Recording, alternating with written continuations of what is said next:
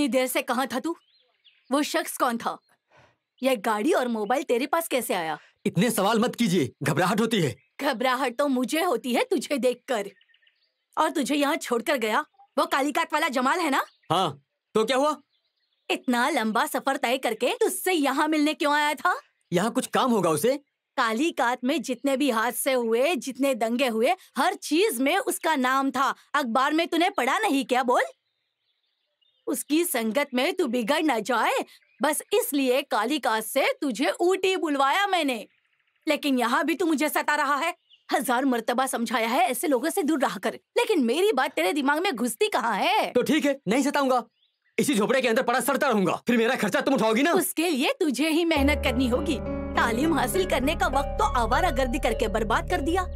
और अब तू रातों रात अमीर बनना चाहता है। तेरा बाप साथ में मछली बेचने को कहता तो शर्म से तेरी नज़रें झुक जाती थी। झुकती है तो क्या? वो काम मैं नहीं कर पाऊँगा। साइकिल पर बदबूदार मछलियों को लादकर इधर उधर कौन चक्कर लगाता घूमेगा? हम्म, मछली बेचने से इज़्ज़त नीलाम हो जाएगी ना? बचपन में तेरा बाप जब मछली बेचकर घर आता था तो उसे गले मिलने के लिए कितना तड़पता था तू। लेकिन उन्होंने हराम का एक निवाला तक तेरे मुँह में नहीं डाला। आज तक एक भी पुलिस वाला उन्हें तलाशता दफ़ा समझाया तुझे कि इस तस्वीर को सीधा नहीं रखने का अरे पिछले छह बरस से तुम मुझे झापड़ मारते आ रहे हो। ये तस्वीर तुम्हारे पिता की है ना? तो इसे उल्टा क्यों रखते हो हाँ? अरे पहले इसे सीधा ही रखता था। सब पूछते थे कि ये किसकी तस्वीर है? कोई यकीन नहीं करता था कि ये मेरे पिता की तस्वीर है। इसलिए मैंने इसे उल्टा कर दिया। अब सब बिना पूछे कहते हैं कि ये तेरे पिता भरतनाथ की तस्वीर है ना?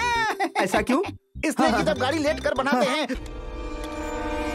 मुंबई से दिल्ली जा रहे Air India flight A I one six six Fear on his face? नहीं सर आपको उस पर गर्व